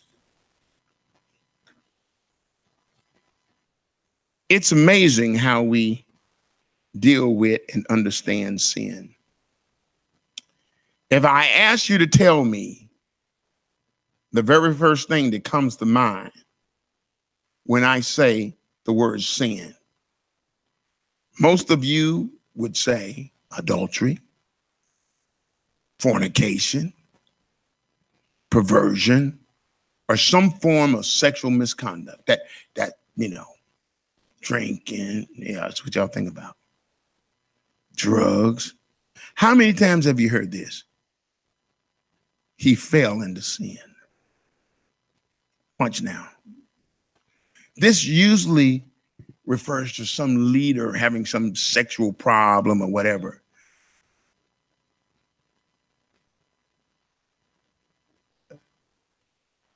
Maybe gambling or murder or theft or witchcraft. Perhaps some of them had hatred and strife and jealousy, but watch now. After that long list, think about it. Adam did not jump in bed with a strange woman in the garden. He didn't smoke weed. He didn't take drugs. Yet his sin was so serious, it brought all creation into captivity and bondage. And it was the sin of disobedience to authority. Whoo! Oh, ah, that's heavy right there. Hey, he didn't get some and got in trouble and caused this thing to happen. That wasn't what happened. He didn't smoke it all. He didn't get a hit or something. No, no, no, no. He was disobedient to God's authority. It's quiet in here. Amen. I said it's quiet in here we don't understand how important obedience is. My wife says that all the time obedience, obedience. She tells young people every time she mentors, I hear her. She said, if you can do one thing, do one thing, just be obedient. If you would just be obedient, I only got one child here today. Well, you, are not a child, you're a man, but I only got one child in here today. I'm gonna give you the scripture. Maybe you can write it down and remember. A disobedient child shortens his days. Last thing you want to be as a child is disobedient. Well, I don't like him. I don't care if you don't like him. You want to live long, you better say yes, ma'am. Yes, sir. I'm just saying. I'm just saying. You don't know what he did to me. God knows, but he still requires. We need we we need consider Adam's situation when we define sin.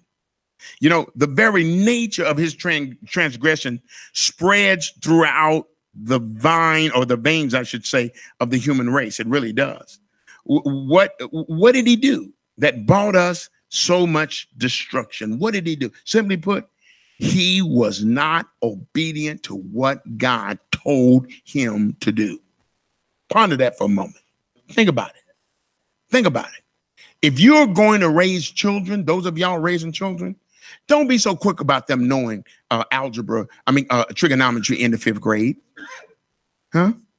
No, don't, don't be so quick about them being able to write their name in cursive when they're four. Don't, don't, don't, don't, don't get it. Make if they're not obedient, if you don't have an obedience, when you tell your child to stop and they don't stop, I don't care what else they know. I don't care how cute they are, they become ugly. That's right. That's truth right there. I didn't hear a lot of amens though, but I know it's true. I'll say amen lights, amen to myself. You know, I, I, I, I'm, I'm, I'm not saying the list I cited previously is is is, is void of sin. I'm not saying that, uh, but I'm stressing, and I'm I'm stressing a point that the church often veers, you know, from the definition of sin, and, and they and they, and they want to try to make it something they can. We don't connect it with the true meaning. And what I'm gonna tell you right now, the first sin was disobedience. A disobedient child Think about it. Think about. I, am we're gonna take we're gonna take one minute, two minutes, one minute, two minutes, whatever it take, till you tell me you got it. I want you to think about your life, nobody else's life, not your children, nobody else, not your husband, your life. Tell me, tell me the truth. Tell me the truth. You're where you are because you're of, of, of disobedience, obedience. The worst thing that ever happened to you happened because you were disobedient. Am I, am I, no, no, no, ain't because you got some, ain't because you smoked a joint, because you, no, you was disobedient. That's the root of all that other stuff that happened. Because once you're disobedient, you opened up, baby. The devil got you. And am I right about it? Your whole life, at the first moment, there's a message I preached many years ago. Is when the axe head dropped. Y'all been reading through the Bible, so y'all know them. Remember when the axe head dropped, and the prophet said, "Where did you drop it?" You got to tell me where did you help me find it. And if the, the prophet said, "Okay, where did you drop it?" So if you can find out where you dropped the axe of, of disobedience in your life, Lord have mercy. It'll trace why you are in the military and not finish college why you why you are E four, five, or six and got a, a got a lieutenant that you know a hundred percent more than, and you got to salute him every day. You was disobedient in some kind of way. You didn't finish school. Amen. Lights right there. You light. Amen. Oh, that's just that's a hard truth right there, baby. Uh-huh. You, you know, yeah, yeah, yeah, yeah, yeah. We don't connect it to be a true meaning. You know, without the connection, we can easily be led into deception. You know, the Bible declares sin is lawlessness. That's what it says in 1 John 3 and 4. It says it's lawlessness. And the Greek word lawlessness, you know, it, it is defined the condition of being without law uh, uh, uh, uh, uh because of ignorance of it or because of violating it. Simply put, lawlessness means not to submit to the law or the authority. The Vine's dictionary states uh, uh, that this verse gives the real meaning to the word sin. Sin is lawlessness. And where lawlessness abounds, the devil is always around. And at some point, we've got to understand when are we going to respect authority again? I said yesterday, Our nation and the world is under strong delusion. We believe that we can say anything to authority when we don't like what they do. You don't have that choice because all you're doing is leaping humps of coal on your own head and putting your own self in quicksand. You don't have to like the authority. You don't have to like your mama. You don't have to like your daddy. You don't have to have to like the mayor. You don't have to like the senator, the governor, or the president. Mm-hmm.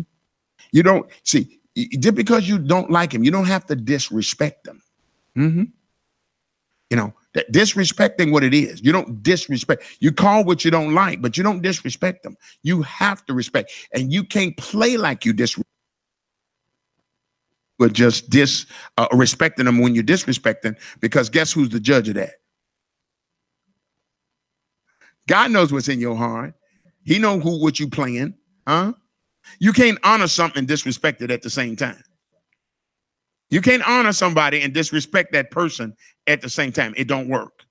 It don't work. It, it, it does not work. Bitterness uh, uh, and sweetness don't come out of the same well. No, no, no, no, no. The same lips can't speak. You can't speak curses and blessings out of the same mouth. No, it it it, it don't go.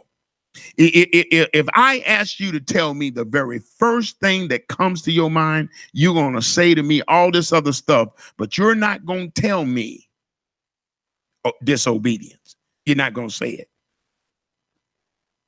The definition of sin set forth uh, uh, its essential character as the rejection of the law or will of God and the sub and and and the substitution of the will of self.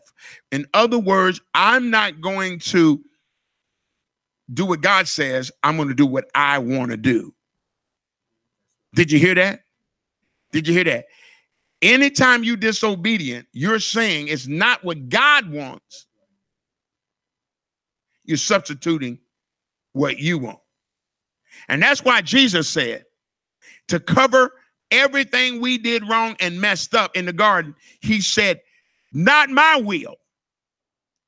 He said, But thy will be done. I'm going to stop right here because I want to say to each and every one of you, I'm looking forward to these classes. I'm going to put together these these things about where our church is going. But but but but but but I'm asking tonight. You're here tonight.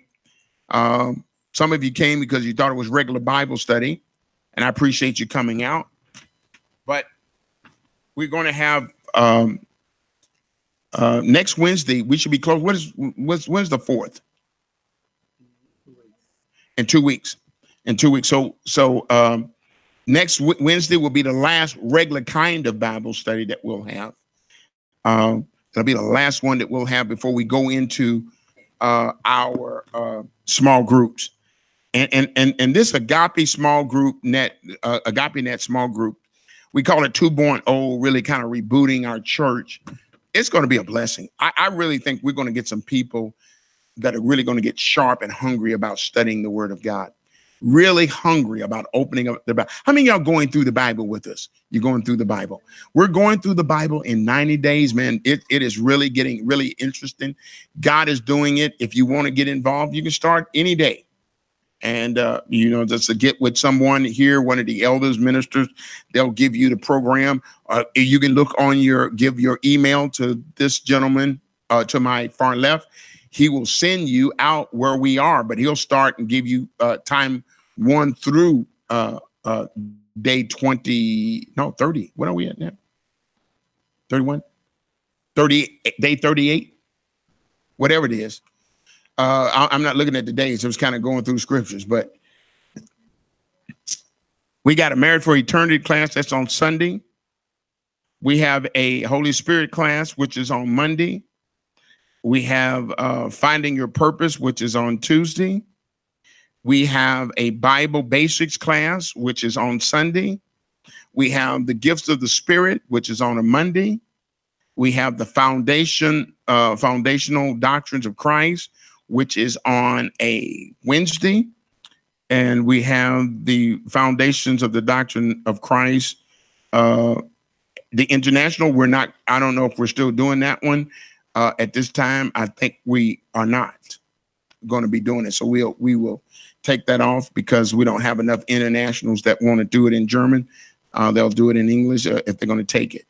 All right, but you want to take these classes, and if you have a if you're not sure what class to take, let me just say this: if you know that you don't really know Bible basics, and you've never went to a beginner class in the Bible, don't fool yourself. Don't put yourself in trigonometry when you really need algebra.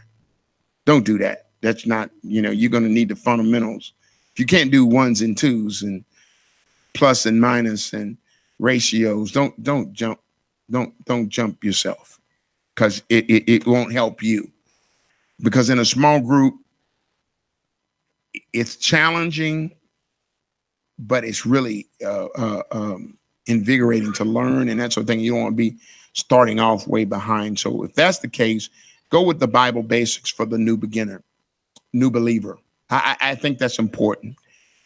Uh, those of you who have been saved for a while, you've been in the church, but you say you've been saved for a while, been in church, but you know the basics, but you really have not gotten into the depths of stuff. I will tell you that the uh, class that will be taught the fundamentals, uh, doctrines of Christ, is going to be a, a, perfect class for you on Wednesday night. It deals with Hebrews 6 1 and 2, leaving the uh, fundamentals of the principles of doctrine of, of, of, of repentance from uh, faith toward God, doctrine of baptism, uh, laying on hands, resurrection of the dead, eternal judgment. I think uh, repenting from dead works, faith toward God. I mean, uh, uh, uh, uh, repenting from dead works, faith toward God, the doctrine of baptism, laying on hands, resurrection, uh, uh, uh, uh laying on the uh, laying on the hands, and the resurrection of the dead in eternal judgment. When we look at those six things, um, I think you will have a better understanding. Because if I say this to you, and let me let me just blow a myth here. Think about this. Think about it. Now, don't try to be smart or try to figure out I'm trying to trick you or anything. Just raise your hand. Yeah, it's, it's nothing embarrassing about it because most Christians miss it anyway. How many times have you heard from the pulpit? And when we get to heaven and when we get up there, oh, what a wonderful time we're going to have. Raise your hand. How many people know that ain't true? There's no truth to that. Because in the Revelation, it says, John said, I saw a new heaven and a new earth descending.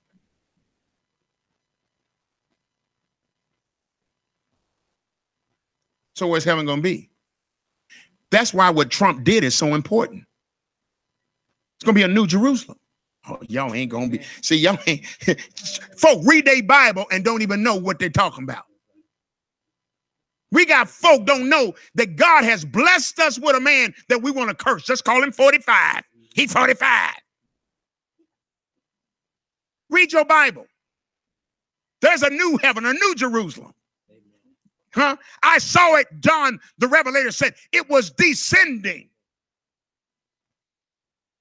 Oh, that is powerful, ain't it, right I ain't trying to get on your old preacher back home, preaching that garbage.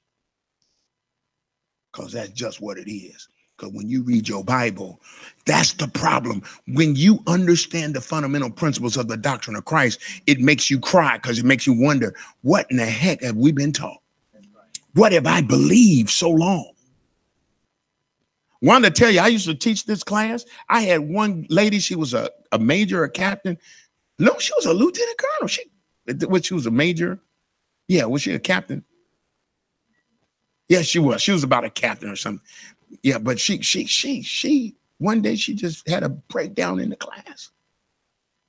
And we didn't know what was going. We didn't know if the spirit got on her. You know, she got filled with the Holy Ghost right up in there.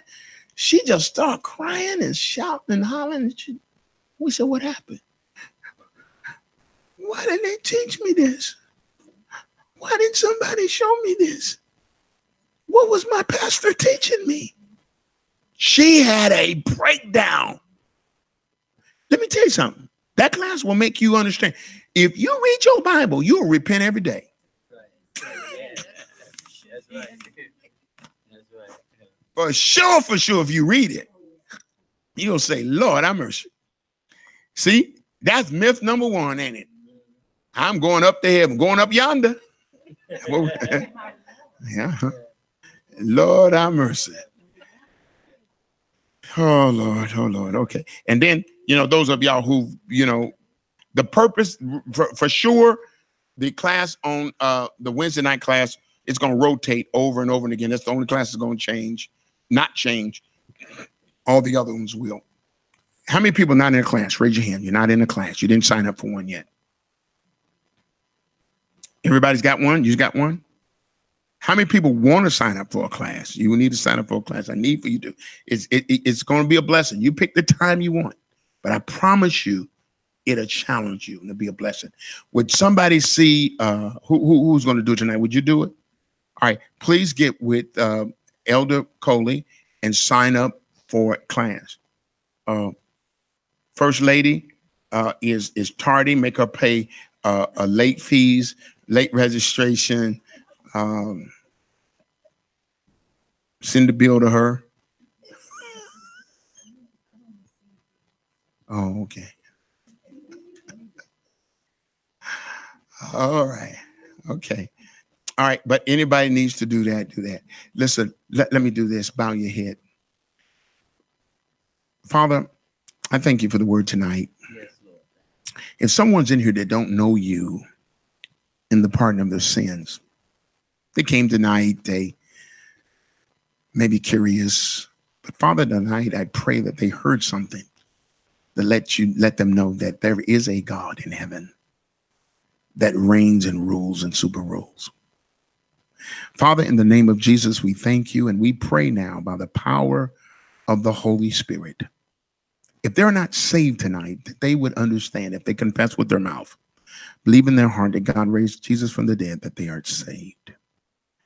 With the mouth they make this confession with the heart they're going to believe. Father we pray tonight that if someone's here that needs you that they would receive you tonight. Remind them that there's no secret in 24007 christians that that that that you will those that come you said i will confess those to jesus or profess those who will confess me publicly father in the name of jesus I pray that tonight somebody will give their life to you. Somebody might want to get filled with the Holy Ghost and with fire. I pray that they want more of you. And I pray that you would cause that to happen in their life even now. Somebody may have sickness in their body. I pray for healing for Brother Scott. I know he's not doing well. I pray by the power of the Holy Ghost that you would just heal his body from the crown of his head to the very soles of his feet. I declare and decree that his headaches, Father, are gone in the name of Jesus.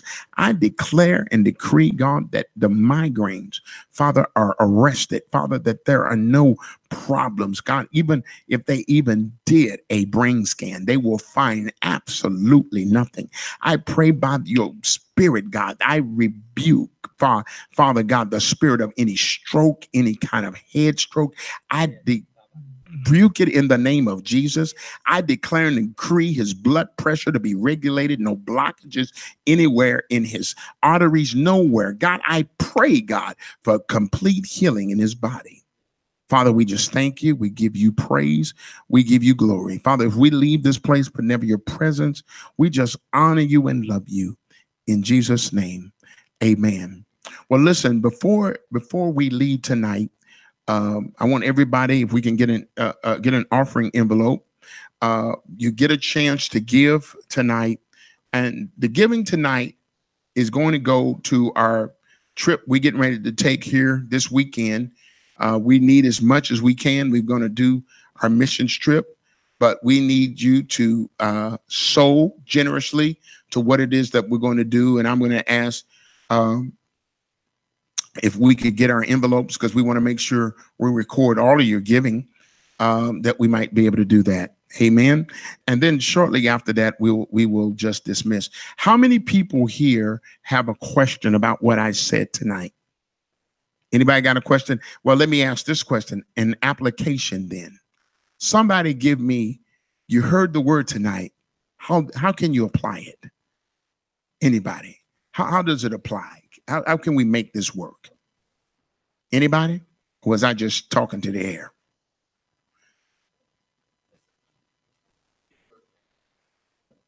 You got to discipline himself. He heard tonight that I've got to discipline myself. Anybody else? Anybody else? Excuse me? Making sure I'm obedient in all things. Man, that that that's probably you stole my answer right there. Because every time I read that, it makes me think like sometimes you just really don't want to do because you don't like something. That's the truth. And man, but when you read that scripture, man, there ain't no out. There, there's really no out. It, didn't say what kind of authority. It said authority. Anybody else? Excuse me. Self-control. Yep. You better have self-control because it's gonna take self-control to be obedient. Amen. Anybody else? Understanding that the Lord is always ever present. He's always He's, present. he's always present. And whatever, no matter what you do, when you think he, he's not there, he's seeing that. Amen. Amen. Amen. Amen. Well, listen, we're we're 14 minutes over what I was shooting for, but um um 20th of February, all day, every day. Somebody's birthday. Whose birthday is it? Anybody's birthday? Nobody's birthday. There's somebody's birthday though today. I, I, know it is, huh? Yours is Monday, huh? Oh, happy birthday, sir. Man. Well, how's it feel to be young? That's all I want to know. Nope, that's been a long time ago, girl. Yeah, I, told y'all, y'all drop a dime. You got to drop at least ten dollars for me to bend down.